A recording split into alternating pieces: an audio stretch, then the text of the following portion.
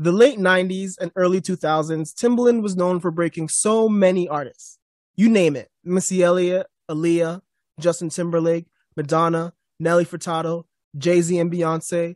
But most people forget about the Georgia rapper Bubba Sparxxx. His breakout single Ugly in 2001 was produced by Timbo the King. Now, I'm not gonna lie, this whole entire time I thought Bubba Sparxxx was black. I mean, I was six years old when the single Ugly came out, and my siblings gave me his nickname.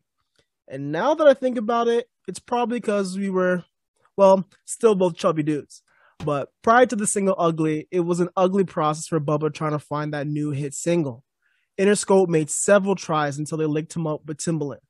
Timbaland signed him to his beat club imprint to make a smash, smash, smash hit Ugly.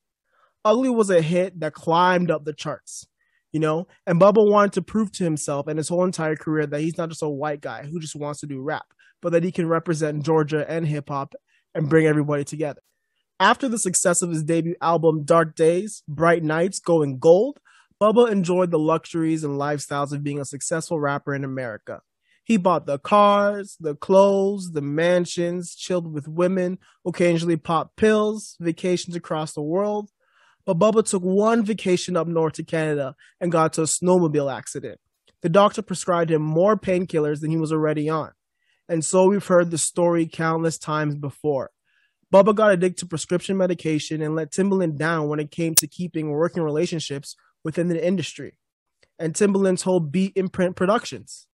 Bubba stated saying that his addiction couldn't bring him to be there for the man who helped skyrocket his career.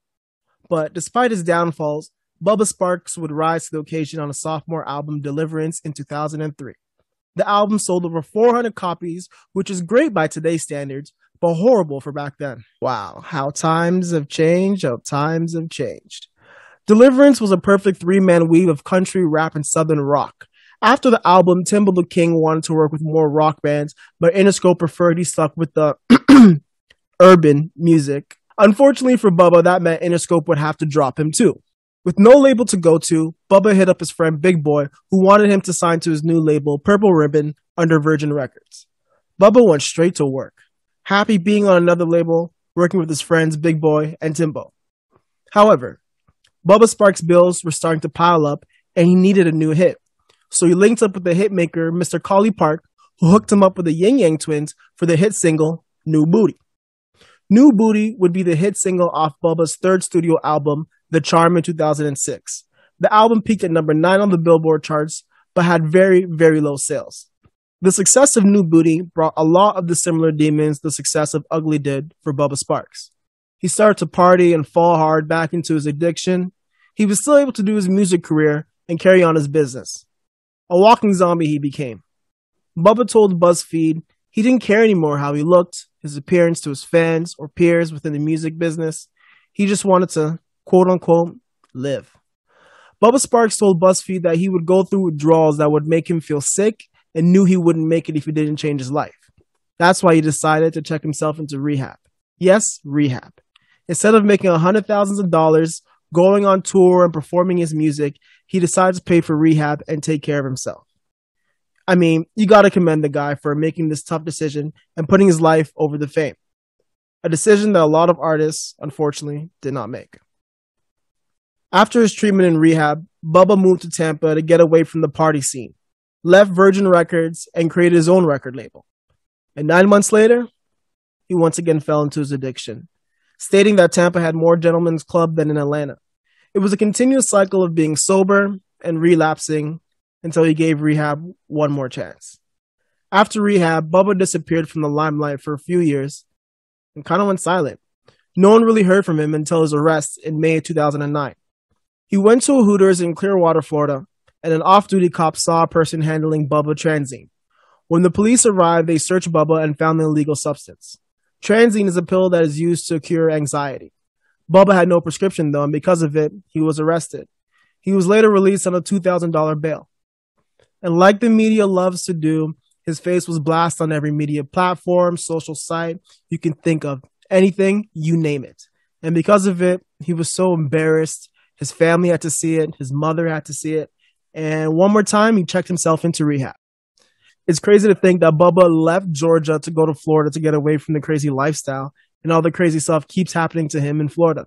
So that's why I'm glad that when he got out of rehab for the last time, he moved all the way back to Georgia. He changed his habits and he found a love for fitness. He lost weight and was in a better mental place. Financially, eh, he couldn't say the same. TMZ reported that he owed 30K in back taxes to Georgia and an additional 300K to the federal government. He told TMZ that, hey, the reason for this debt is because I lived a drug fueled lifestyle, partying, and I did bad business. Bubba had to find another way to pay his bills, so he went back to what he knows best music. In 2013, he signed with Backroad Records and released his fourth studio album, Pain Management. It reached number 40 on the country charts. In 2014, he started dating Miss Iowa beauty Katie Connors and released his fifth studio album, Made on McCosh Mill Road. Wait a minute. Two albums in one year? But two years later, in 2016, the couple got married. According to TMZ, over 400 people attended the wedding with a whopping price tag of 100 grand. Okay, two albums in one year? What was the splits on the album? Because he must have made a cake off that to have a sick wedding cake and a hundred thousand dollars. Well, never mind, man. Bubba Sparxxx was right when he said that the success of New Booty was both a blessing and a curse. It gave him the money to support a lifestyle and to fund his demons and to fuel them. But at least he was man enough to acknowledge his demons and understand that he needed help. An issue that so many celebrities and people in their everyday life don't do. We've seen so many people go or lose a part of themselves. And whether or not we want to agree or disagree about the legacy of Bubba Sparxxx, he's still here. Artists can always come back to the music, but they can't come back to themselves if they let their demons take them in too deep. Bubba Sparxxx is a prime example of how to keep fighting your demons. And he came back to the music. I mean, two albums in one year? All jokes aside, all jokes aside, though, he is looking good, man.